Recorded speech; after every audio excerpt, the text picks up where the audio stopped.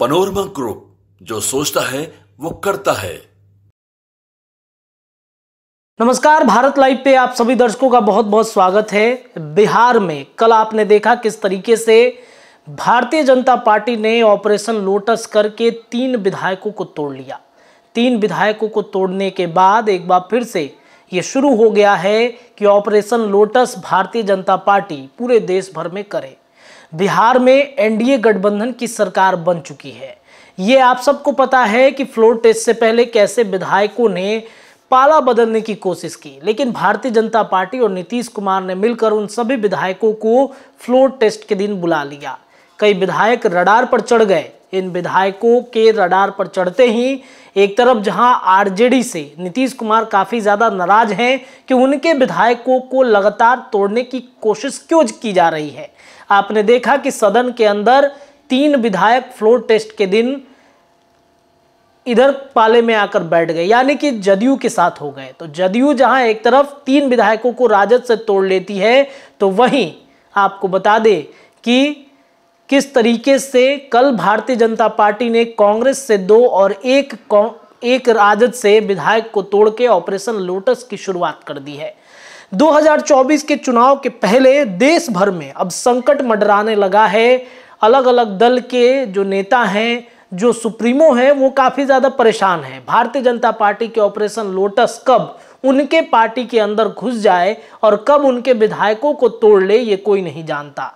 आपने देखा होगा कि कल किस तरीके से राज्यसभा का चुनाव हो रहा था उत्तर प्रदेश में और क्रॉस वोटिंग जो है वो सपा के लोगों ने कर दिया, सपा के नेताओं ने कर दिया, जिस वजह से ऑपरेशन लोटस यूपी के बाद बिहार बिहार के से होते हुए हिमाचल प्रदेश में भी वही स्थितियाँ बनी हुई हैं और हिमाचल के बाद अब नज़रें चली गई हैं असम पर। जी हाँ असम में भी ऑपरेशन लोटस की तैयारी शुरू हो गई है। दरअसल आपको बता दें कि बिहार में, जहाँ एक तरफ़ कांग्रेस के विधायकों को तोड़ लिया गया, भारतीय जनता पार्टी ने अपने पाले में कर लिया तो वहीं असम में कांग्रेस के जो अध्यक्ष हैं, देश में कांग्रेस की सरकार पर संकट के बाद बादल छाए हुए हैं। इस बीच पूर्वोत्तर राज्य असम में भी पार्टी को करारा झटका लगा है।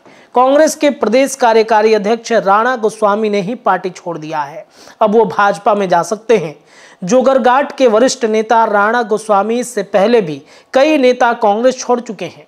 पिछले दिनों ही एक अन्य कार्यकारी अध्यक्ष कामलख्या डे पुरस्कायस्त ने कांग्रेस छोड़ दी। इसके अलावा एक अन्य विधायक बसंत कुमार दास ने भी भाजपा की सरकार को अपना समर्थन दे दिया।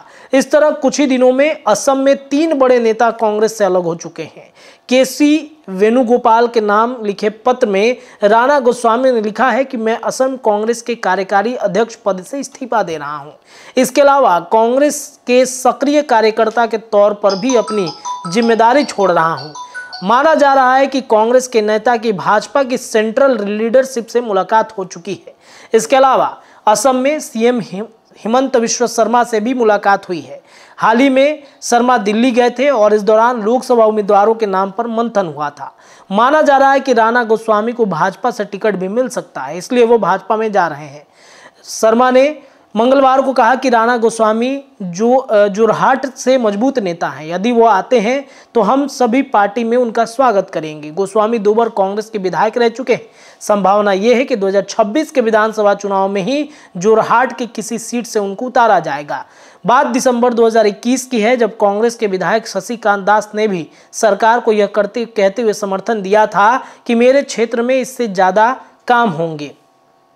इस पर दास को पार्टी ने निलंबित कर दिया। यही नहीं, पार्टी विरोधी गतिविधियों के चलते सिद्दीकी अहमद और सरमान अली अहमद को भी सस्पेंड किया जा चुका है। 2021 में हुए टूट के बाद अब कहीं ना कहीं चर्चाएँ तेज हो गई हैं। देश भर में ऑपरेशन लोटस की तैयारी में भारतीय जनता पार्टी है। असम, हिमाचल प्रदेश, बिहार और उधर झारखंड में भी निगाहें कांग्रेस के विधायकों पर भारतीय जनता पार्टी की पड़ चुकी है। तो आने वाले दिनों में 24 के चुनाव के पहले बड़ी भगदड़ कांग्रेस में मस्ती हुई देख रही है। न सिर्फ़ एक राज्य में बल्कि बिहार सहित कई राज्यों में ऐसी स्थितियाँ उत्पन्न हो गई हैं। क्या होता है? आगामी दिनों में इस पर भी हमारी चर्चाएँ जारी रहेंगी। फ़िलहाल भारत लाइव के इस वीडियो में इतना ही। जुड़े रहिए हमारे चैनल के साथ। धन्यवाद। पनोरमा ग्रुप जो सोचता है वो करता है।